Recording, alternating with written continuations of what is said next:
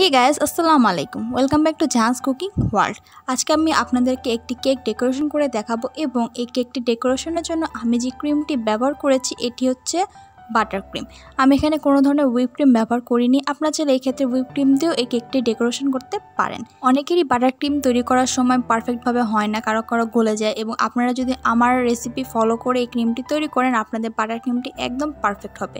তো চলুন দেখে নিই এই পুরো রেসিপিটি প্রথমে এখানে আমি দুশো গ্রামের মতো বাটার নিয়ে নিয়েছি। আপনারা এখানে যে কোনো ব্র্যান্ডের বাটার ব্যবহার করতে পারবেন, তবে খেয়াল রাখবেন বাটারটি যেন আনসল্টেড হয়। তারপর এখানে আমি বাটারটিকে টুকরো করে কেটে নিব এবং বাটারটি আমাদের ক্রিমটি তৈরি করার আধ ঘণ্টা আগে ফ্রিজ থেকে বের করে রাখতে হবে।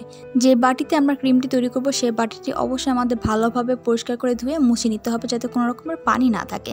তারপর আমাদের এই বাটারটিকে মিডিয়াম স্পিডে বিট করতে হবে যতক্ষণ না পর্যন্ত বাটারটির কালার পুরোপুরি চেঞ্জ হয়ে সাদাটে ভাব চলে না আসে। এক্ষেত্রে আপনারা দেখতেই পাচ্ছেন আমার বাটারটি কতটা ফ্লাফি হয়ে গিয়েছে এবং আমার ক্রিমে হলদেটে ভাব চলে গিয়েছে। এক্ষেত্রে আমরা এবার এখানে অ্যাড করব দুই কাপের মতো পাউডার সুগার পাউডার সুগারটি ব্যবহার করার আগে অবশ্যই পাউডার সুগারটিকে আপনারা চেলে তারপর ব্যবহার করবেন। আমি এখানে দুই টেবিল চামচের মতো পাউডার সুগার দিয়ে তারপর একটি স্প্যাচুলার সাহায্যে ভালোভাবে এটিকে মিশিয়ে নিব। তারপর আবারও মিডিয়াম ফ্লেমে এটিকে বিট করে নেব, যতক্ষণ না পর্যন্ত আমাদের পাউডার সুগারটা ভালোভাবে গলে যাচ্ছে। অনেকে পাউডার সুগারটি বাটারের সাথে দিয়ে একবারে বিট করে নেন, এমনটি আমাদের করা যাবে না। এক্ষেত্রে আমাদের ক্রিমটি ভালো হবে না। এবং পাউডার সুগারটি একবারে না দিয়ে আমাদের বারে বারে দিতে হবে।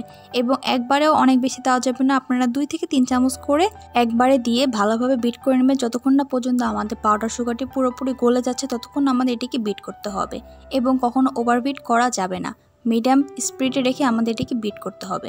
এক্ষেত্রে যাদের ইলেকট্রিক বিটার নেই, তারা হ্যান্ড উইসের মাধ্যমে এটিকে করতে পারবেন। তবে এক্ষেত্রে আপনাদের ক্রিমটি তৈরি করতে সময়টি একটু বেশি লাগবে। আমি এখানে দুইশো গ্রাম বাটারের জন্য দুই কাপের মতো পাউডার সুগার ব্যবহার করেছি। আমার কাছে এই রেশিওটাই পারফেক্ট মনে হয়। আপনাদের কাছে যদি মিষ্টির পরিমাণটা একটু বেশি দরকার হয়, আপনারা এক্ষেত্রে পাউডার সুগারের পরিমাণটা একটু বাড়িয়ে দিতে পারেন। এক্ষেত্রে আমার পাউডার সুগারটি পুরোপুরি গলে গিয়েছে। এবার চারোদিকে ক্রিমগুলো যেগুলো ছড়িয়েছিল সেগুলোকে আমি একসাথে করে নেব। এবার এখানে আমি দিয়ে দিব দুই টেবিল চামচের মতো ঠান্ডা লিকুইড জাল দেওয়া দুধ এবং অবশ্যই খেয়াল রাখতে হবে দুধটি যেন আমাদের জাল দিয়ে ফ্রিজে রাখতে হবে। ফ্রিজ থেকে বের করে ঠান্ডা ঠান্ডা দুধটি আমাদের ব্যবহার করতে হবে। গরম দুধ আমাদের ক্রিমে ব্যবহার করা যাবে না। দুধটি দিয়ে আমাদের আবারও ভালোভাবে বিট করে নিতে হবে এবং এখানে আমি মোট পাঁচ টেবিল চামচের মতো দুধটি ব্যবহার করেছি। আপনারা আপনাদের ক্রিমের ঘনত্ব বুঝে তারপর দুধটিকে ব্যবহার করবেন এবং পাঁচ টেবিল চামচের মতো দুধটি দিলেই আমাদের ক্রিমটি পুরোপুরি পারফেক্ট হয়ে যায়। এক্ষেত্রে আমার পুরোপুরি মেশানো হয়ে গিয়েছে। এবার এখানে আমি এক চা চামচের মতো ভ্যানিলা এসেন্স দিয়ে দিচ্ছি। এক্ষেত্রে আপনার অন্য যে কোনো ধরনের ফ্লেভার বা ফুড কালার এখানে ব্যবহার করতে পারেন বা চকলেট ইমাশন এখানে ব্যবহার করতে পারেন। এক্ষেত্রে আমার সমস্ত উপকরণগুলি ক্রিমের সাথে পুরোপুরি মিশিয়ে গিয়েছে, এর থেকে বেশি বিট আমি করব না। আমার বাটার ক্রিমটি পারফেক্টভাবে তৈরি হয়ে গিয়েছে। আমার এই ক্রিমটি পুরোপুরি তৈরি করতে প্রায় তিরিশ মিনিটের মতো সময় লেগেছে। এবার ক্রিমটিকে একটি সাইডে রেখে আমরা কেকটিতে চলে যাচ্ছি। আজকে আমি আপনাদেরকে একটি চকলেট কেক দিয়ে আমার বাটার ক্রিম ফ্রস্টিংটি করে দেখাবো। এবং এখানে আমি যে কেকটি ব্যবহার করেছি, এই কেকটির পুরো রেসিপি এর আগের ভিডিওতে আমি শেয়ার করেছি আপনাদের সাথে। যারা এখনও দেখেন নাই, তাদের জন্য আমি ডিসক্রিপশনে লিঙ্কটি দিয়ে দিব। আপনারা চাইলে ভিডিওটি দেখে নিতে পারেন। তারপর আমি কেকটিকে তিনটি লেয়ারে সমানভাবে কেটে নিব। এক্ষেত্রে আপনারা যদি লেয়ারগুলো একটু পাতলা করতে চান, এক্ষেত্রে আপনারা এটিকে চারটি লেয়ারও করতে পারেন। তবে আমি আমার কেকটিকে তিনটি লেয়ারে কেটে নিব কারণ ফ্রস্টিং করার সময় তিনটি লেয়ারভাবে কেটে ফ্রস্টিং করলে কেকটি খেতে বেশি ভালো লাগে। এবং আমাদের এক্ষেত্রে ভালোভাবে একটু খেয়াল করে কাটতে হবে যাতে আমাদের কেকটি লেয়ারগুলি একটু সমানভাবে কাটা হয়। এই ক্ষেত্রে আমার তিনটি লেয়ার কাটা হয়ে গিয়েছে এবং এক্ষেত্রে আপনারা খেয়াল করেছেন আমার কেকটা কতটা পরিমাণে সফট হয়েছে। এবার একটি বোর্ড নিয়ে নিয়েছি, বোর্ডটির উপরে আমি সবার উপরে যে কেকের লেয়ারটি ছিল সেই লেয়ারটি আমি সবার নিচে দিয়ে দিব। তারপর আমার সেই বাটার ক্রিমটি দিয়ে ভালোভাবে ওই লেয়ারটিকে কভার করে নেব, যাতে আমার ক্রিমটি চারোদিকে ছড়িয়ে যায়। এবং এক্ষেত্রে আপনারা এটিকে যে কোনো ধরনের নাইফ দিয়ে ভালোভাবে কভার করে নিতে পারেন। আমার এক্ষেত্রে একটি লেয়ার কভার করা হয়ে গিয়েছে, আমি আরেকটি লেয়ার দিয়ে দিব কেকে তারপর এখানে আমি আবারও কিছুটা পরিমাণে বাটার ক্রিম দিয়ে আরেকটি লেয়ার কভার করে নেব। এভাবে আমি আমার তিনটি লেয়ারেই ভালোভাবে কভার করে নেব এবং এটি নাইফের সাহায্যে ভালোভাবে ক্রিমটিকে ছড়িয়ে দেবো। এক্ষেত্রে আপনার ক্রিমের উপরে যারা চকলেট সিরাপ বা চকলেট চিপস দিতে চান, তাও ব্যবহার করতে পারেন। তারপর এখানে আমি ভালোভাবে লেয়ারটিতে ছড়িয়ে দিলাম। এক্ষেত্রে আমার ভালোভাবে বাটার ক্রিমটা ছড়ানো হয়ে গিয়েছে। এবার আমি আমার শেষ লেয়ারটি কেকের উপরে দিয়ে দিব এবং এক্ষেত্রে আপনারা চেষ্টা করবেন যাতে কেকের সবচেয়ে নিচের লেয়ারটি আমরা যেন কেকের উপরে দিই। এর ফলে আমাদের কেকটি উপর থেকে লেভেল হবে এবং উপরে কোনো ধরনের গুঁড়ো ছড়াবে না এবং বেশি উঁচানিতেও আমাদের কেকটি হবে না। তারপর একটি প্যালেট নাইফের সাহায্যে কেকটিকে আমি ভালোভাবে ক্রিমটি ছড়িয়ে দিব এবং এক্ষেত্রে প্রথমে আমাদের উপরের দিকে ক্রিমটিকে কভার করে নিতে হবে। তারপর তার চারোদিকে ক্রিমটিকে কভার করতে হবে। এক্ষেত্রে উপরের দিকে ক্রিমটি একটু বেশি আমাদের দিতে হবে, তারপরে ভালোভাবে আমাদের একটু সমান করে নিয়ে চারোদিকে ক্রিমটিকে কভার করে দিতে হবে। এক্ষেত্রে আমি এবার চারোদিকে কিছুটা পরিমাণে কাগজ দিয়ে দিব যাতে আমার বোর্ডটি ক্রিমটা চারোদিকে কভার করার সময় নষ্ট না হয়। এক্ষেত্রে আপনারা সাদা কাগজও ব্যবহার করতে পারেন বা বাটার পেপার দিয়েও এক্ষেত্রে ব্যবহার করতে পারেন। তারপর চারোদিকে আমি ভালোভাবে আমার ক্রিমটিকে লাগিয়ে কভার করে নিব। এক্ষেত্রে আমি চারোদিকে আগে সমানভাবে লাগিয়ে নিচ্ছি আমার ক্রিমটি প্রথমে আমাদের ক্রিমটি একটু বেশি করে দিয়ে চারদিকে ভালোভাবে কভার করে নিতে হবে যাতে কেকের কোনো অংশ ফাঁকা না থাকে এবং চারোদিকে সমানভাবে আমাদের ক্রিমটি কভার হয়ে যায়। এক্ষেত্রে আমরা যেগুলো জায়গা ফাঁকা ছিল সেগুলো জায়গায় আমি সমানভাবে ক্রিমটিকে লাগিয়ে নিচ্ছি।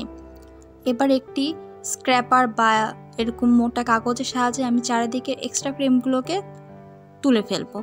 এক্ষেত্রে আপনারা স্ক্র্যাপার ব্যবহার করতে পারেন বা প্যালেট নাইফের সাহায্যে এটিকে সমান করে নিতে পারেন। তারপর উপরের দিকে যে আমাদের এক্সট্রা ক্রিমগুলি ছিল, সেই ক্রিমগুলোকে আমি অল্প অল্প করে সরিয়ে উপরের লেভেলটিকে আমি সমান করে নিচ্ছি এবং এক্ষেত্রে অবশ্যই আমাদের স্ক্র্যাপারটিকে হালকাভাবে ইউজ করতে হবে। আমার কেকটি পুরোপুরি কভার করা হয়ে গিয়েছে। এবার চারিদিকে সাদা কাগজগুলোকে আমি সরিয়ে ফেলব। এক্ষেত্রে আপনারা দেখতেই পাচ্ছেন আমার কেকটি পুরোপুরি কভার করা হয়ে গিয়েছে। এবার আমি কিছুটা পরিমাণে বাটার ক্রিম একটি পাইপিং ব্যাগের মধ্যে ভরে স্টার নজেলের সাহায্যে আমার পছন্দ মতো ডিজাইন করে নিচ্ছি।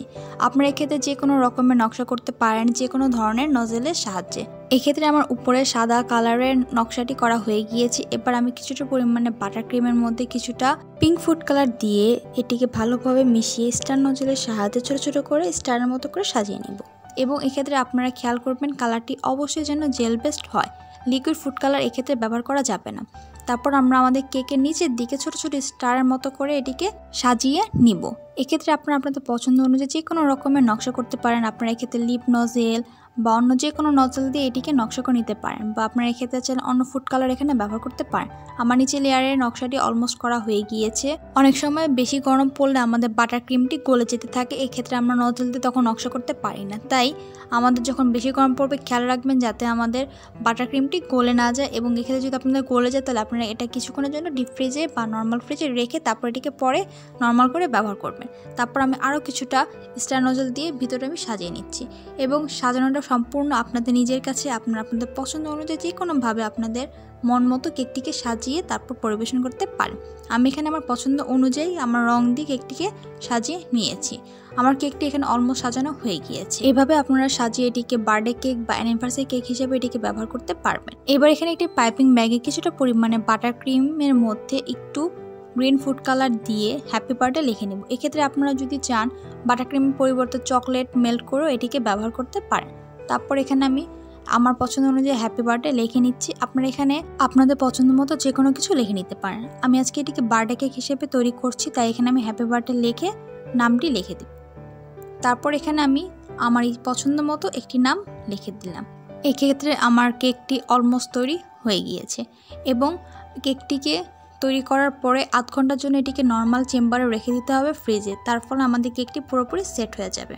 এবং এই গরমে যাতে বাটার ক্রিমটি গলে না যায়, তার জন্য কেকটি তৈরি করার পর অবশ্যই তিরিশ মিনিটের জন্য এটিকে ফ্রিজে রেখে দেবেন আমার কেকটি পুরোপুরি তৈরি হয়ে গিয়েছে এবং আপনারা দেখতেই পাচ্ছেন কেকটির কালার কতটা সুন্দর হয়েছে এবং কেকটি কতটা পরিমাণে পারফেক্ট হয়েছে এবং এভাবে বাটার ক্রিম তৈরি করে আমরা যে কোনো ধরনের বার্থডে কেক অ্যানিভার্সারি কেক বা পেস্ট্রি কেক খুবই সহজে ঘরে তৈরি করে ফেলতে পারব।